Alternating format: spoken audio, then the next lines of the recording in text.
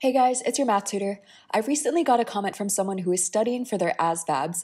For those who don't know, these are timed aptitude tests that everybody in the US Armed Forces need to take and pass. One section on the ASVAB is the arithmetic reasoning section, which is basically all word problems, which I know a lot of people, even those who aren't taking the ASVABs, have trouble with. So this video is focused on how to solve word problems.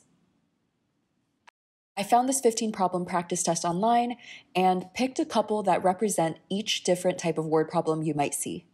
You can find the full version online, I'll link it in the description box down below, but in this video we'll go through five examples. Alright, here is our first problem, let's start off easy. When we encounter word problems, the first thing we want to do is obviously read the problem, then more importantly identify what we're supposed to solve for.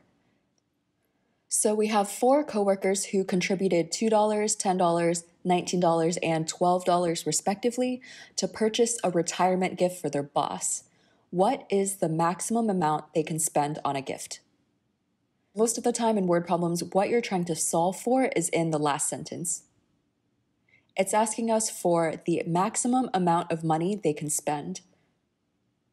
Now that we read and understand our problem, our second step is to come up with an equation. In order to find the maximum amount of money they can spend, we need to add up all of the money that they pooled, and they can't spend more than that, so that's going to be your maximum. We'll get 258 plus 1020 plus 1989 plus 1289 for our equation, and in our final step, let's solve. So using my calculator, I got a total of $45.56, and that is our answer.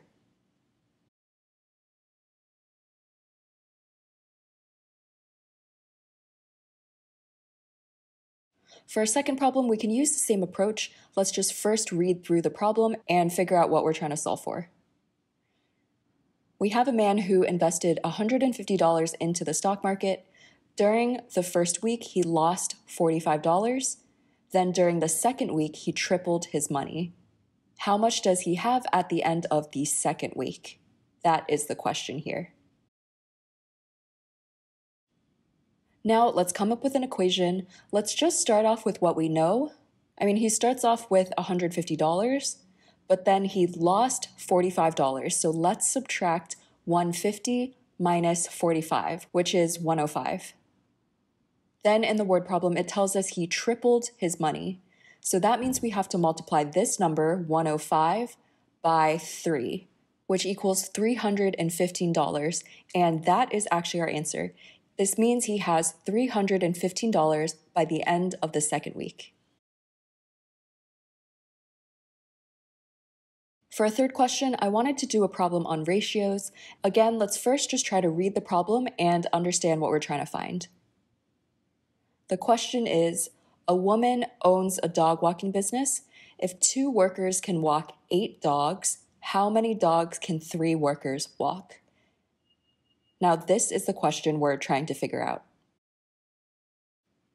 Next, let's write out an equation, which to me is the hardest part about word problems, knowing how to represent words into numbers and equations.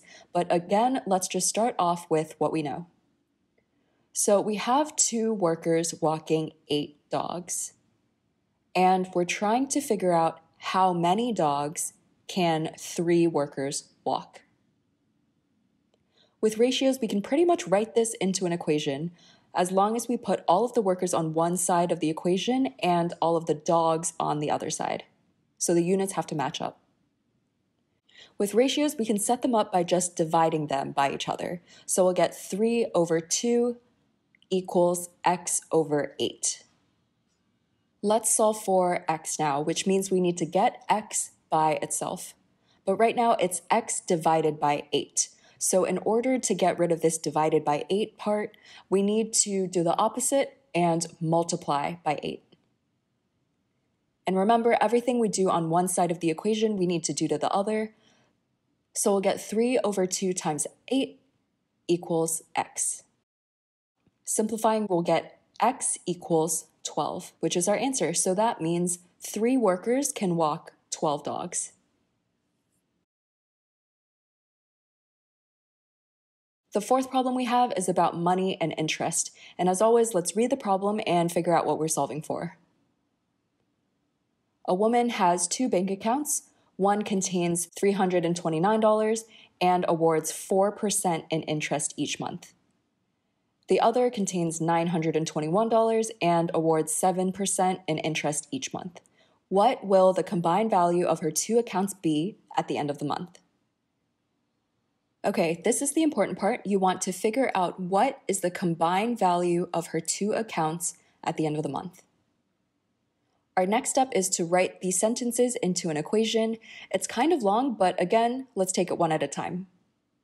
We can first work on her first account. It has $329 with a 4% interest rate.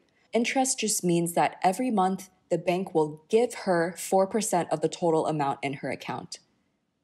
So they'll give her 4% of 329. And in order to calculate this, you need to convert this percentage into a decimal. So you just move the decimal to the left two times. So you have 0.04. Then multiply 0.04 by 329. That's $13.16. That means the bank will give her $13.16 in interest that first month. So the total amount in her first bank account will be the original 329 plus the $13.16 in interest.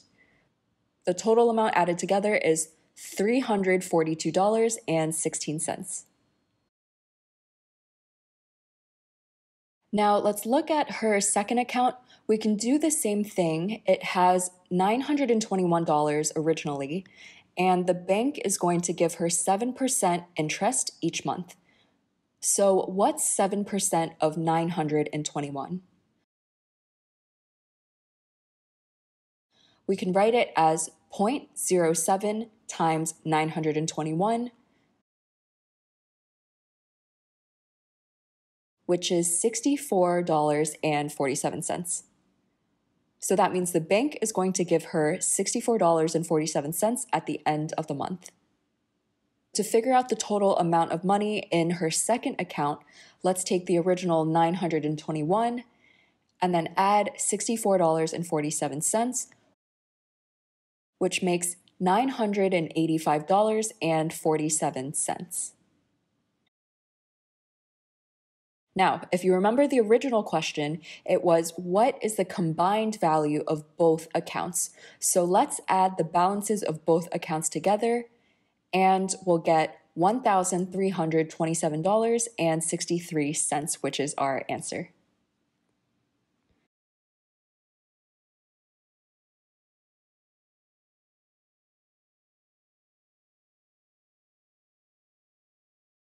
All right, this is our last problem. It's a little more tricky ratios problem, but we can still use the same method. It tells us the manager is selling two bags of potatoes for each bag of carrots, then six bags of onions for each bag of potatoes. So we have something relating potatoes to carrots and potatoes to onions, but nothing directly relating the onions to the carrots so we can use the potatoes as sort of a common link. Looking at these two equations, you can substitute the potatoes. So here it's saying that one potato is the same thing as six onions. So we can replace the p in the first equation with six onions.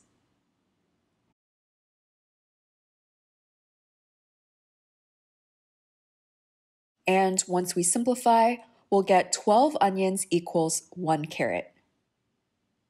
And now if we go back to the original question, that is actually exactly what we wanted. If he sells 12 bags of onions, he will sell one bag of carrots.